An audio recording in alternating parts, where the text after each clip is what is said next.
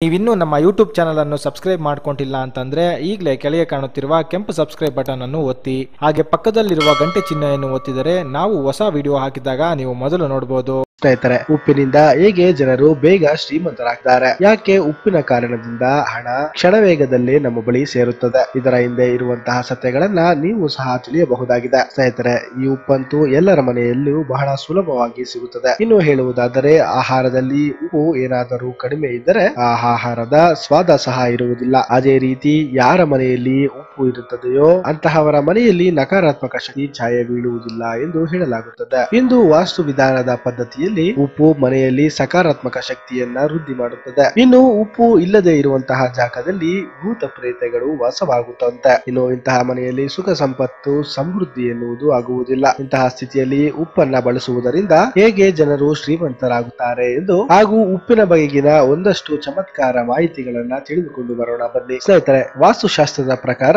ಉಪ್ಪಿನಲ್ಲಿ ಒಂದು ಭಿನ್ನವಾದ ಆಕರ್ಷಣೆ ಇರುತ್ತದೆ. ಇದೇ ಒಂದು ಕಾರಣದಿಂದ ಇದರ ಬಳಕೆಯನ್ನ ತಂತ್ರ ಮಂತ್ರಗಳ ಸಾರದಲ್ಲೂ ಸಹ ಬಳಸುತ್ತಾರೆ.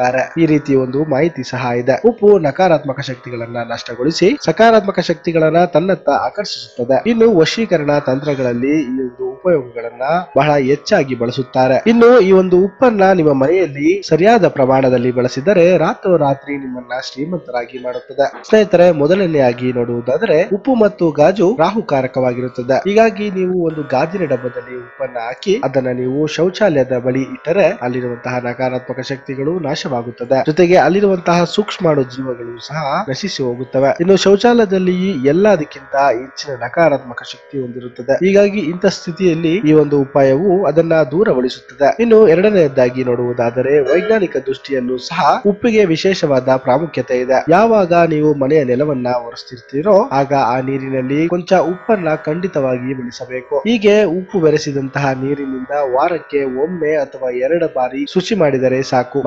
ಮನೆಯಲ್ಲಿರ್ತಕ್ಕಂತಹ ಯಾವುದೇ ರೀತಿಯಾದ ನಕಾರಾತ್ಮಕ ಶಕ್ತಿಯು ಕ್ರಮೇಣ ದೂರವಾಗುತ್ತದೆ. ಜೊತೆಗೆ ಮನೆಯಲ್ಲಿರುವಂತಹ ಧನಾತ್ಮಕ ಶಕ್ತಿಯು ಸಹ ವೃದ್ಧಿ ಮಾಡಿಸುತ್ತದೆ. ಮನೆಯ ಸುಧಾರಣೆಗಾಗಿ ನೀವು ಉಪ್ಪಿನಿಂದ ಮನೆಯನ್ನ ಒರೆಸಲೇಬೇಕು. ಹೀಗೆ ಮಾಡುವುದರಿಂದ ಮಹಾಲಕ್ಷ್ಮಿ ತಾಯಿಯು ನಿಮ್ಮ ಮನೆಗೆ ಬಹು ಬೇಗ ಒಲಿಯುತ್ತಾಳೆ. ಇನ್ನು ಮೂರನೇದಾಗಿ ನೋಡುವುದಾದರೆ, ಉಪ್ಪನ್ನ ಒಂದು ಗಾಜಿನ ಡಬ್ಬಿಯಲ್ಲಿ ಹಾಕಿ ಅದರಲ್ಲಿ ಒಂದೆರಡು ಲವಂಗಗಳನ್ನ ಹಾಕಬೇಕು. ಹೀಗೆ ಮಾಡುವುದರಿಂದ ಮನೆಯಲ್ಲಿ ಧನಾತ್ಮಕ ಶಕ್ತಿ ವೃದ್ಧಿಯಾಗಿ ಮನೆಗೆ ಧನಾಗಮನವಾಗುವುದು. ಜೊತೆಗೆ ತಾಯಿ ಲಕ್ಷ್ಮೀ ದೇವಿಯು ಸಹ ಪ್ರಸನ್ನನಾಗ್ತಾಳೆ. ಇನ್ನು ನೀವು ಸ್ನಾನ ಮಾಡುವಂತಹ ನೀರಿನ ಜೊತೆ ಸ್ವಲ್ಪ ಉಪ್ಪನ್ನ ಬೆರೆಸಿ ಸ್ನಾನ ಮಾಡಿದರೂ ಸಹ ನಿಮ್ಮ ಮೇಲಿರುವಂತಹ ನಕಾರಾತ್ಮಕ ಶಕ್ತಿಗಳು ಕಳೆದು ಸಕಾರಾತ್ಮಕ ಶಕ್ತಿಯಾಗಿ ಬದಲಾಗಿಸುತ್ತದೆ. ಮನೆಯಲ್ಲಿ ನಕಾರಾತ್ಮಕ ಶಕ್ತಿ ತಿಳಿಸಿ ಸಕಾರಾತ್ಮಕ ಶಕ್ತಿ ಸೃಷ್ಟಿಯಾದರೆ ತನಗೆ ತಾನೇ ಮನೆಯಲ್ಲಿ ಹಣಕಾಸಿನ ಬಾಧೆ ತಪ್ಪುತ್ತದೆ. ಮನೆಗೆ ಧನಲಾಭವಾಗುತ್ತದೆ ನೋಡಿದ್ರಲ್ಲ ಸ್ನೇಹಿತರೆ, ಇವತ್ತಿನ ಸಂಚಿಕೆ ಇಷ್ಟ ಆಗಿತ್ತು. ನಿಮಗೂ ಸಹ ಈ ವಿಡಿಯೋ ಏನಾದ್ರೂ ಇಷ್ಟವಾಗಿದ್ರೆ ನಮ್ಮ ಚಾನೆಲ್ ಅನ್ನ ಲೈಕ್ ಮಾಡಿ ಶೇರ್ ಮಾಡಿ ಸಬ್ಸ್ಕ್ರೈಬ್ ಮಾಡಿ. ಮತ್ತೊಂದು ಸಂಚಿಕೆಯಲ್ಲಿ ಇನ್ನೊಂದು ಮಾಹಿತಿಯೊಂದಿಗೆ ಭೇಟಿ ಆಗೋಣ ಧನ್ಯವಾದಗಳು. ವೀಕ್ಷಕರೇ, ಒಂದು ಮುಖ್ಯವಾದ ವಿಚಾರ. ನಿಮ್ಮ ಜೀವನದಲ್ಲಿ